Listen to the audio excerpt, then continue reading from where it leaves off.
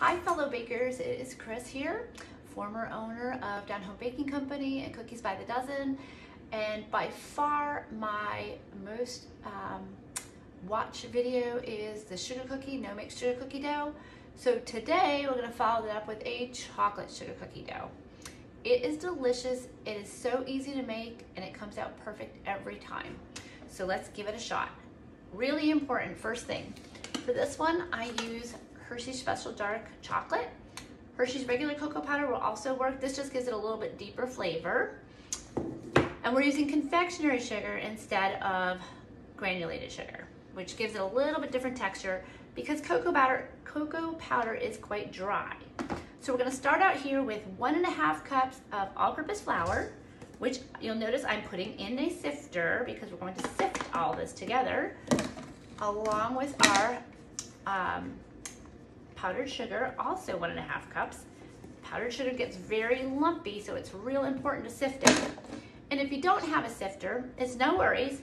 Just go ahead and whisk it real, really well together. So we're gonna sift a little bit of this out, and then we're gonna add our cocoa powder in. And just like all the rest, I mix this by hand.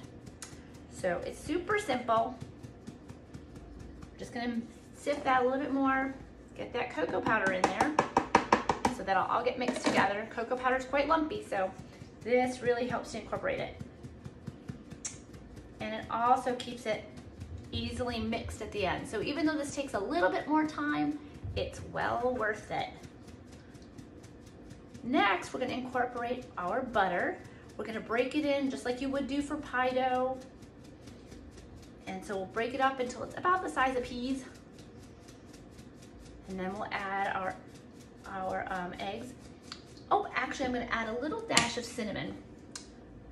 That really just, just a tiny little sliver, just really adds a lot of flavor.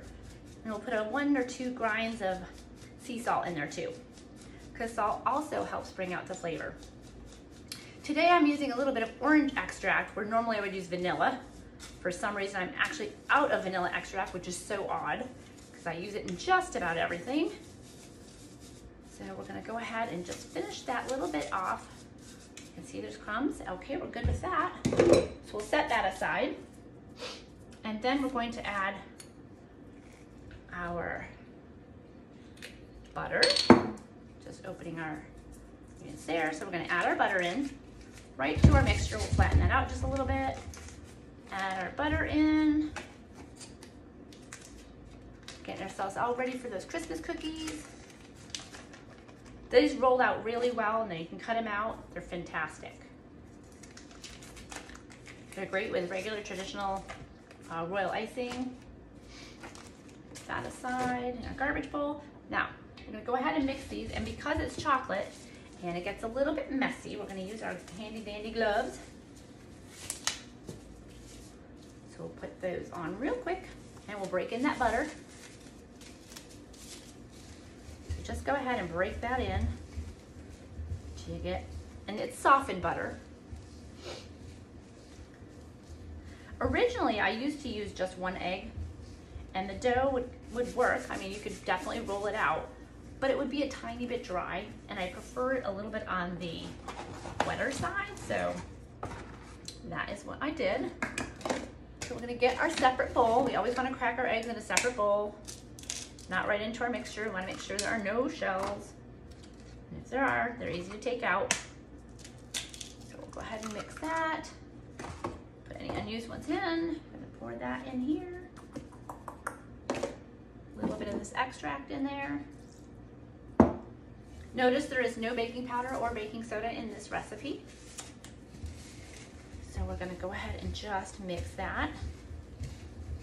Just as in our other recipe. If you like your cookies a little fluffier, you can go ahead and add some baking powder to it. Um, but I, I like that they hold their shape better this away, so that is what I'm doing. So you'll see that our dough starts to come together. Just keep moving it around the bowl, moving around the bowl.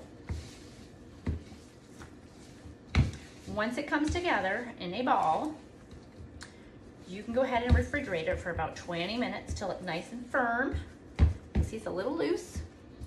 It's a lot messy, but it sure tastes good when it's done. So I'm gonna go ahead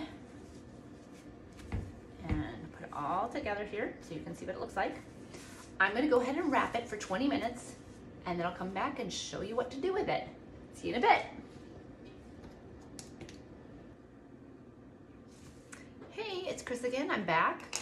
The cookie dough has been resting in the refrigerator for a little bit over 20 minutes. I took it out. I'm going to roll it out between two sheets of plastic wrap, which we have done before in our other uh, videos. So you're just gonna roll it to however thick you like it. Um, these cookies at an average thickness take about five to six minutes to cook, um, to bake. And so you wanna make sure that they just don't look raw.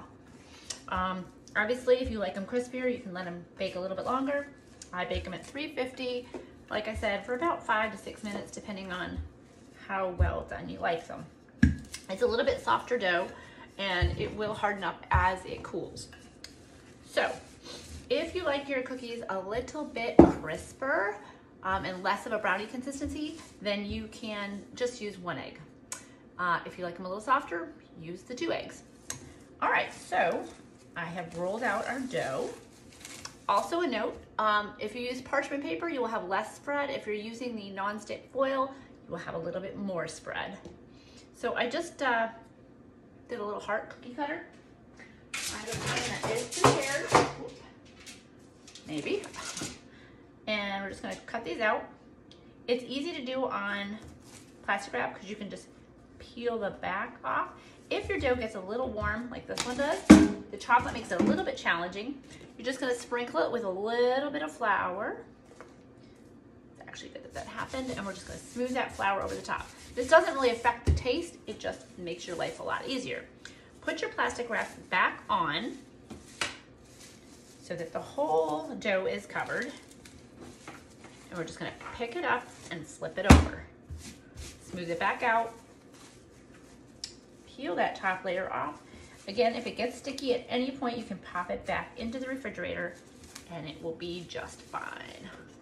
All right, so we're gonna go ahead and sprinkle that with a little more flour. It's real warm in here today because it is freezing outside, so our heat is on a lot. So there we go. We're gonna go ahead and cut our cookie again. This time it comes out nice and clean. We'll cut several of those and maybe some stars. Push it through. And push it through. And we'll pop those in the oven for five to six minutes in the middle of the rack. And then this is what you will get when you take it out. Notice that it's it's still a little warm, so it can bend. Um, they're delicious. Got a great, great brownie. And this one had orange extract, so a nice chocolate orange flavor to it. Very similar to a brownie. I hope that you'll try it and let me know what you think. Please comment below if you've made it, if you want to make it, if you have any questions. I try to answer every single question myself in a timely manner, and I would love to hear from you. If you haven't already subscribed, please do so. I have a hummingbird cut, a hummingbird cake, easy to say, um, coming up next. So I hope everybody has a great time baking. Until next time, see you later.